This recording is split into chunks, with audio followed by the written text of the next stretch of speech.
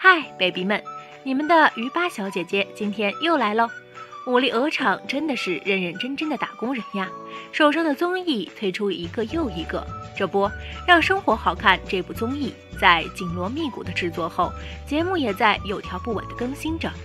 鹅厂制作节目的初心就致力于打造一款明星独居的生活观察综艺，自己录制，自己观察，在观察中讨论、交流、反思，通过平视加交互视角，以此超越自己，打造有品质生活样，引领当代年轻人更好的独居，更好的生活。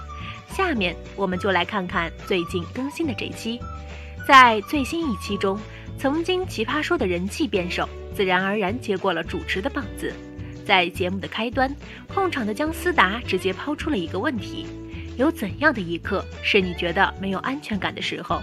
以此引出了最新一期的主题：如何建立安全感？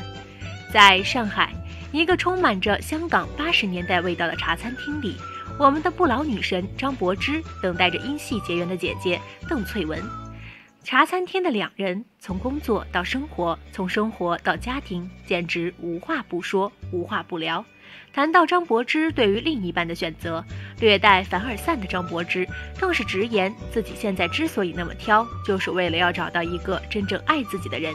不仅如此，更值得他还说道：“缠着我不太喜欢，不缠着我也不喜欢，对我太好又不行，对我不太好也不行，等等。”通过这一通凡尔赛的发言，可以看得出来，对于未来的另一半，我们芝芝还是很挑的。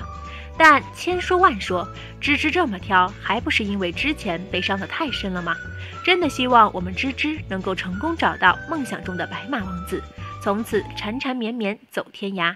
餐桌上谈到恋情是否公开这个问题时，武力芝芝明确表示：“我还是不会公开。”这句话让坐在对面的邓萃雯瞬间瞳孔放大，满脸疑问：“小朋友，你是否有太多问号？”小朋友，你是？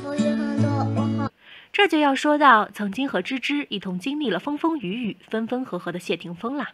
作为曾经娱乐圈内的一对模范夫妻，他们从相识、相知到相恋、相爱，一度是圈里圈外令人羡慕的对象。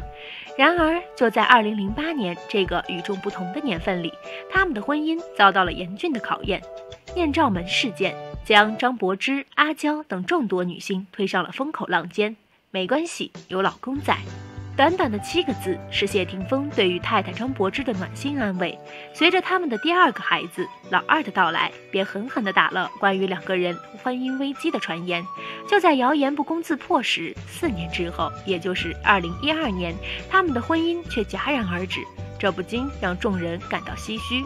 后来的一次采访中，主持人问张柏芝为什么会选择离婚，也许是不爱了，这是他本能的回应。此时的他们，为人母，为人父，早已不是当初那个懵懂的少年。